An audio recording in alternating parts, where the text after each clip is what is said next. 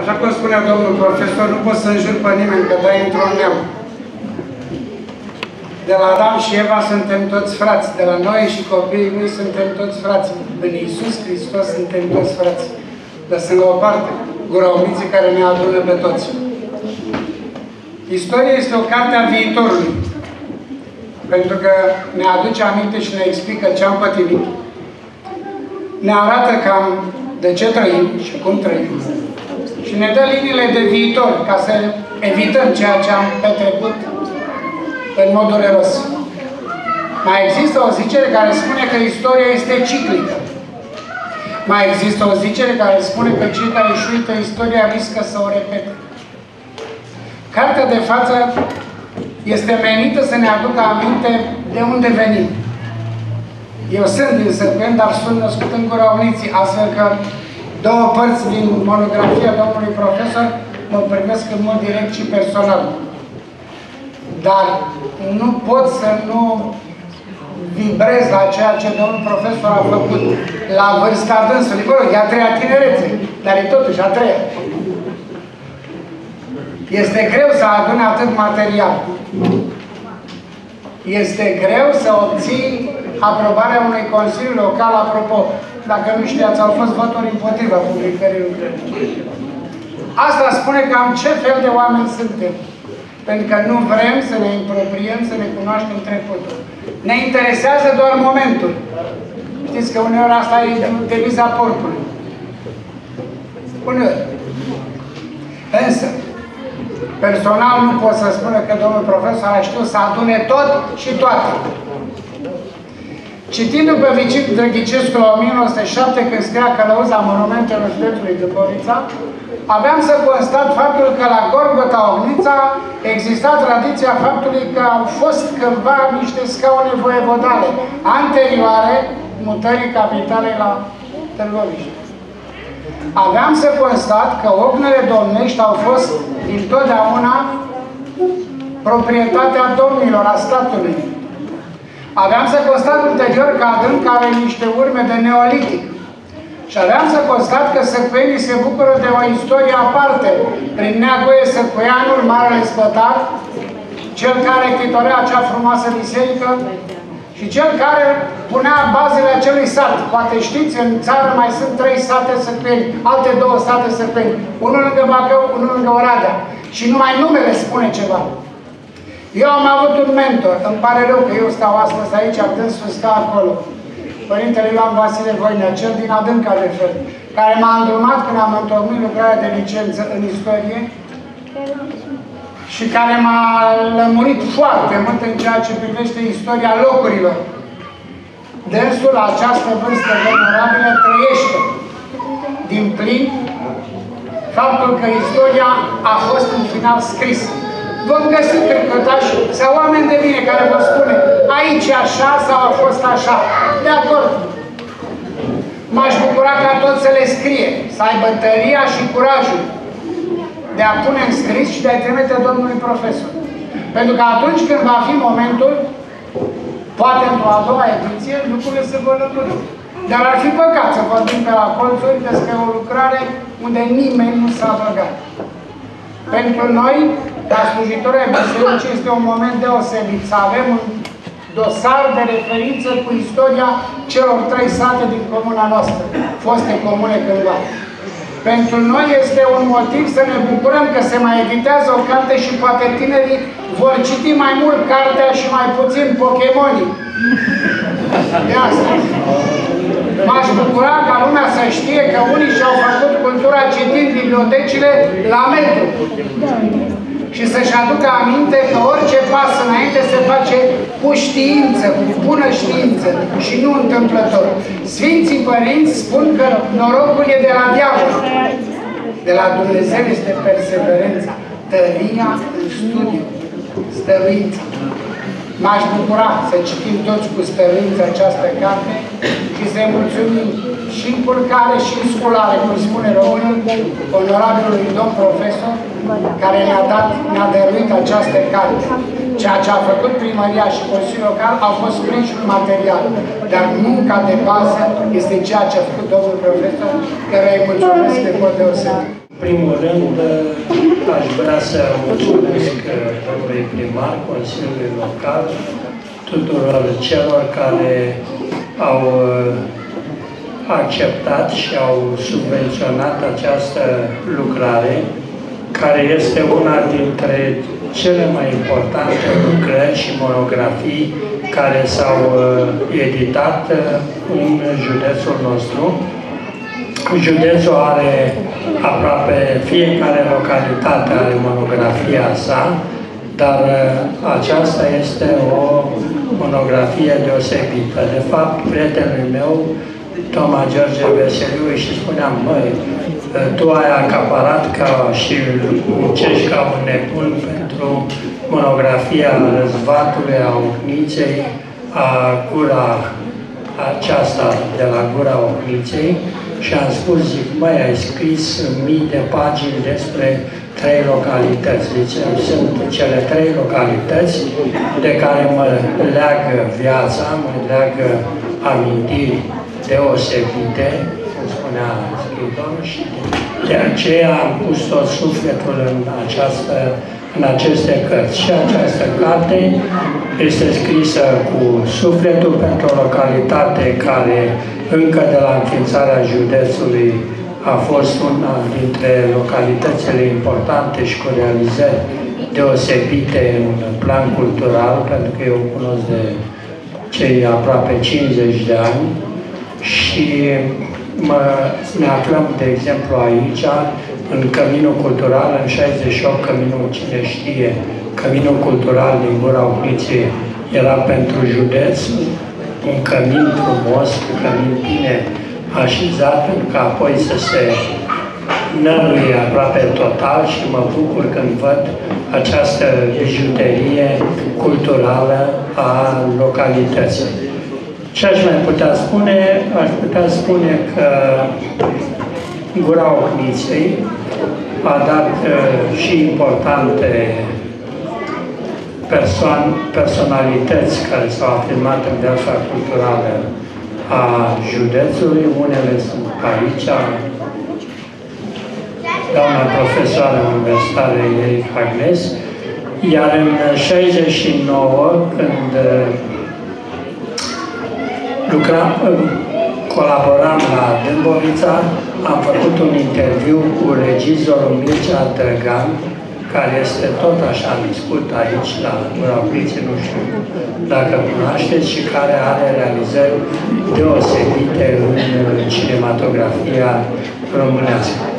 Încă o dată vreau să mulțumesc și să organelor locale, să-l felicit pe bunul meu prieten de aproape 50-60 de ani, mai știu că uh, George Toma Veseliu, să-i urez viață lungă și, dacă mai are curaj, mai scrie asemenea monstruozitatea. Apariția acestei cărți s-a produs într-o zodie fastă, într-o zodie norocoasă s-au întâlnit trei uh, momente fără de care ea n-ar fi putut uh, fi astăzi lansată. Unul este autorul. Nu știu dacă dumneavoastră, consătenii lui George Toma Veseliu, știți că el,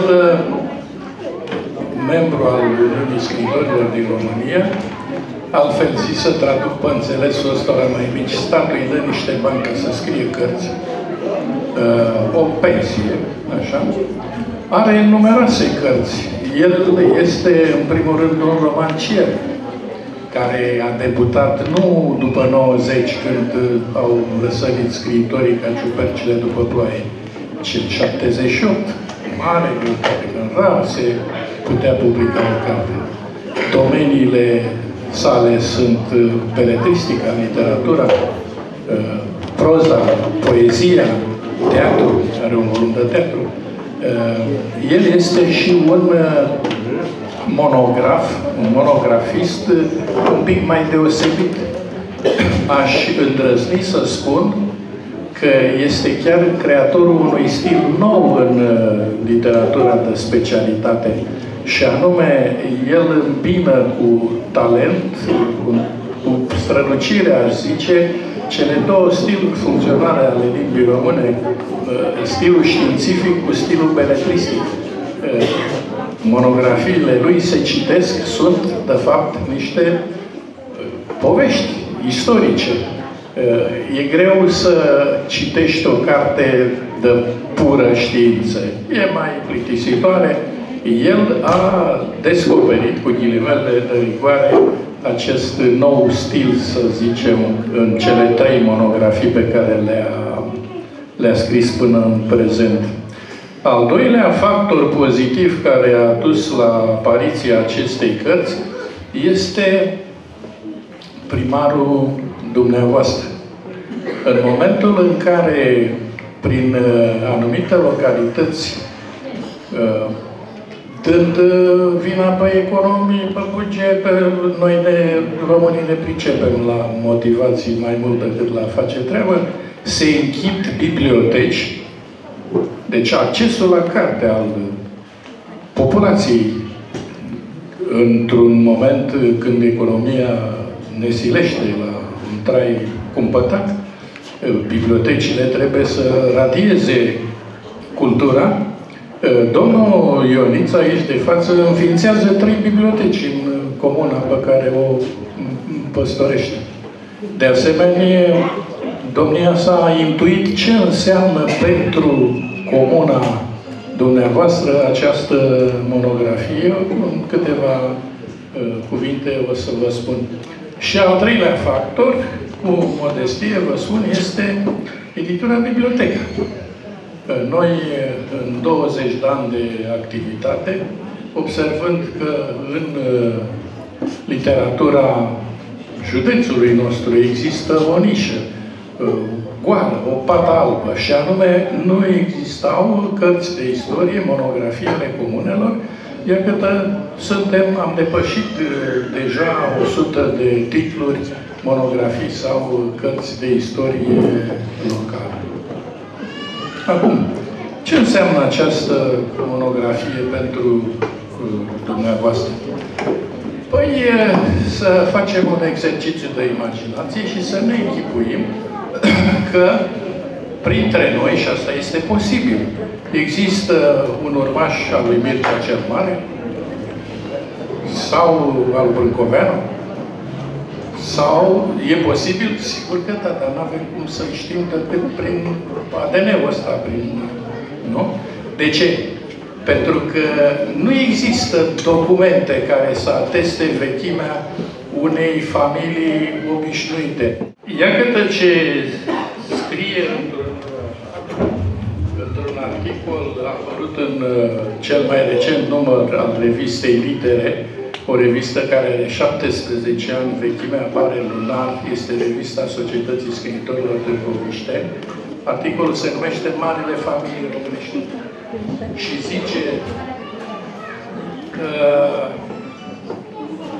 nimeni, nicăieri n-ar putea astăzi strânge mâna unui urmaș cunoscut al lui Burevista sau Dragoș Vădă.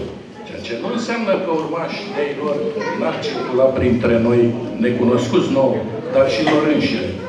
Într-o oarecare măsură, anepigrafismul maselor, uh, până nu de mult o realitate socială, poartă vină. Altunde, lucrurile au stat mai bine și acum vă rog să fiți atenți. În Franța, de pildă, o familie de agricultori, Lopez, citeam într-o veche ilustrațion, are documente ale continuității în același loc de 9 secole.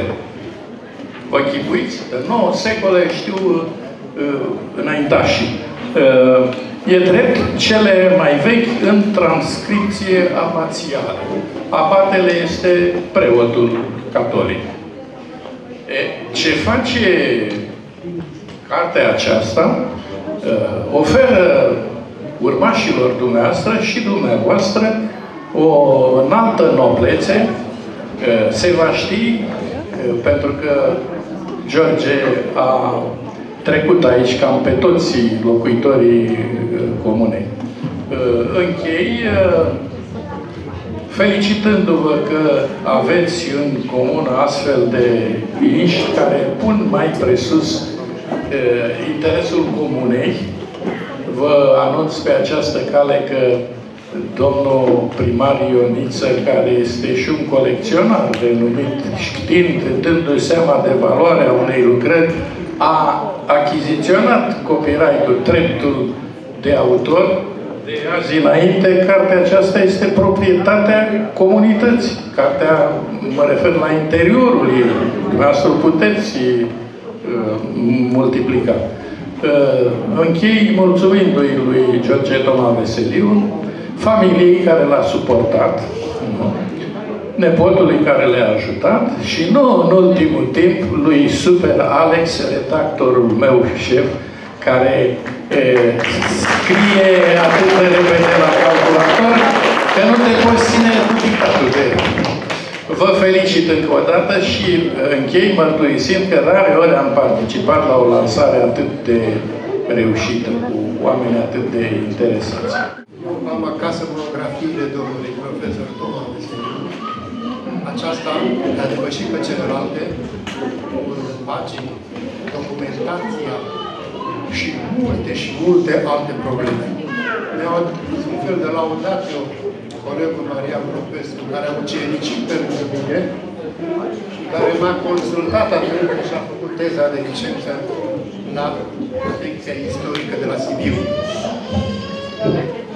Eu am sfătuit pe copiii mei de la seminar și îmi pare rău că nu este și cel de la preot al noastră care mi-a fost elev și a fost dirigit de patru ani de zile, totdeauna să intre în arhiva parohială. Pentru că acolo, pe cărțile de slujbă și în special cele cu caractere civice, smeriții noștri preoți au făcut niște însemnări cu care se poate face o verigă a înaintașilor noștri. Și am găsit la adânca pe o carte de slujbă făcută de un preot care a murit pe la Borintin, August Augustin Scurtescu. Băiatul preotul Angelaiche Scurtescu însemna am fost 11 copii la părinții noștri. Preotul Angel Scurtescu a murit la vârstă de 50 de ani și a lăsat în pântece o fată care a fost puțin cam adenată, care a trăit ani de zile în satul nostru, a luat o soră în București asistentă medicală, iar un frate a trăit la Pucioasa și așa mai departe. Și iată că în satele noastre au păstorit preoți cu prestigiu pe unii i-am cunoscut, pentru că eu vă să atest că în anul când se năștea Părintele Marian Popescu, eu puneam piciorul la strana bisericii din Săcuieni. Deci sunt 61 de ani atunci. Și am cunoscut și preoții de la Săcuieni, și preoții de la Gura Ogniții, și preoții de la Adânca, și preoți din toate împrejurimile, nu mai zic de la Târgoviște, pentru că eu m-am repatriat în 1972 venind de la parohia Stoienești Mușter, unde am găsit mai multe documente, iar însemnări de acolo le-am publicat într-o revistă numită Mitropolia Olteniei.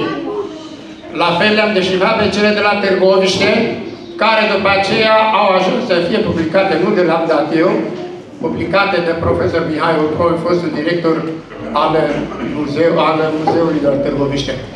De aceea, eu îl felicit cu toată sinceritatea pe domnul profesor Veseliu pentru ceea ce a făcut și eu bănuiesc că nu se va opri aici, pentru că există o fobie, o boală, așa cum a zis Deus într-o carte, că eu sunt bolnav de istorie. Nu sunt bolnav de istorie, sunt îndrăgit de istorie. Pentru că noi trăim în istorie. Noi suntem făuritori a unei istorii. Volens nolens, vrând nevrând, noi înscriem o pagină în istoria locală. Și am lăsat și un semnăr pe cărțile de slujbă pe unde a fost, așa încât acum vreo doi ani au curunea un nepot de la Chirdoveni, un fost lege, ce uită părinte, semnătura dumneavoastră din 1959 pe o carte de slujbă, da.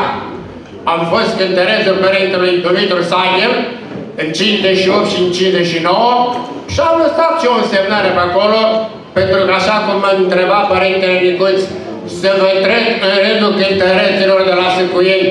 Nu! acolo era un fel de schimb pană pentru dascării care aveau servici și nu puteau să participe în curs săptămânii la o slujbă, sau mai ales să umble cu botezul cu Părintele Naie, pentru care păstrez o deosebită uh, stimă și respect post-morte. Iubiților, îndemnați-vă copiii dumneavoastră să-și iubească meleagurile natale, să-și iubească istoria patriei, să iubească pe Dumnezeu și biserica în care s-au botezat și să nu intre ea numai atunci când se pună și, și, puncte, puncte.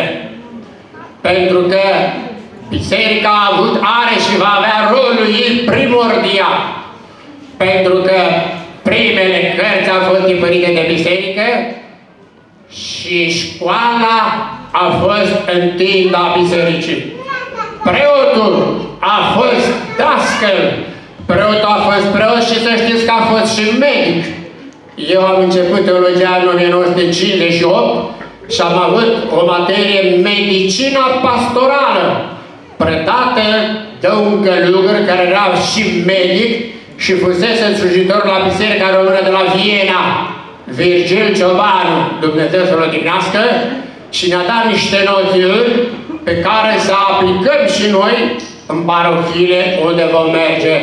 Nu vreau să vă plictisesc, cum zicea Luca și Cleopa în drum spre Maus, ziua s-a terminat, ci să vă mulțumesc frumos pentru că a fost mai multe insistențe și eu, așa cum sunt, am un an și ceva să fac 80, m-am deplasat, am avut cu cine să fiu cu feciorul și să fiu alături de dumneavoastră și să vă doresc sănătate și fericire și să mai vedeți și la alte evenimente de felul acesta. Principiul meu poetic este bazat pe un termen latinesc, acela de relicvă.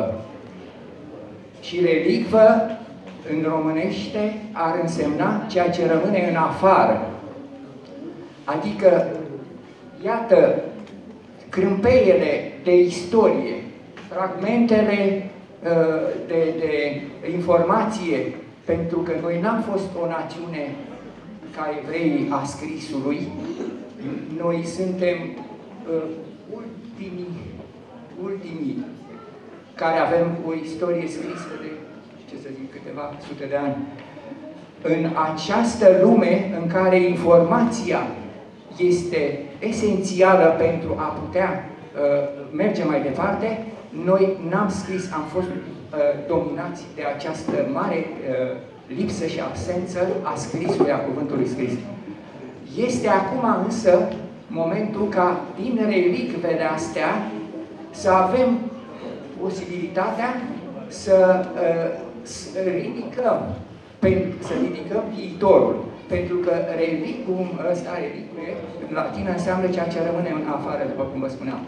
E bine, toate aceste lucruri care rămân acolo, un ciot de pod la, la, la, la Severin, uh, o biserică, multe au fost în ruină, dar au fost locurile alea la Manole, în Baradă, era vorba de un zid părăsit și neisprăvit. E bine, aceste relicve sunt purtătoarele viitorului. Pentru că, de pildă, în latină, in relicum tempus, înseamnă timpul rămas până mâine, viitorul scurt. Deci, dacă vrem să clădim viitorul, să știm ceva despre viitorul ăsta, e bine, trebuie să vedem care sunt rădăcinile existente în istorie, ca pe ele să putem să ne planificăm, să facem un proiect de viitor. Deci, ceea ce este esențial este să definim care sunt aceste relicve, lucrurile esențiale ale pe care le putem stăpâni, care sunt ale noastre. Și aici avem limbă ca un fundament esențial al existenței noastre. Limba română este cea mai veche moștenire pe care o avem din latină și pe urmă sunt crâmpeele, cum am zis, de ziduri, de biserici, de fragmente scrise când apar. Atunci, pe limbă, trebuie să clădim și vom putea să rezistăm când vom răspi prin limba noastră, cultivând-o în continuare și scriind. E, acest lucru primează la George Toma Veseliu, el înflorește, limba română este uh, ridicată la un rang extraordinar și apoi aduce limba asta și rădăcinile, relicvele materiale. Bine, aici este lupta cea mare să învingem viitorul în limbaj. Și de aceea mai suntem și noi poeți scriitori, iar dânsul este o excelență. Este bunul meu prieten, George Toma Veseliu.